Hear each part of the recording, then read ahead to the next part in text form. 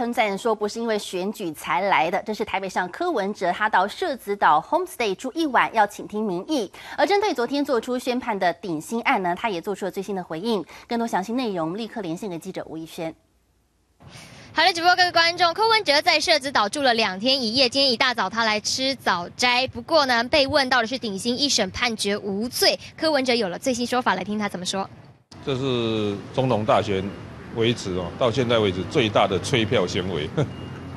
怎么说？怎么说是催票行为？我膝盖想也知道啊，这。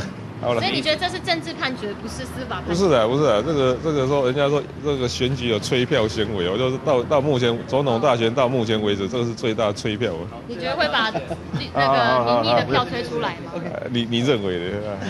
柯文哲话说说的很酸哦，他说呢，这个是总统大选之前哦最大的催票办法，那么也就是说呢，很有可能就把民意给催出来了，因为这个判决实在是人神共愤啊。那么后来呢，他今天哦来到了社子岛呢，一样要来继续。去体验、搜集民意，甚至呢，今天要来下田体验农田的生活。以上是现场最新情形。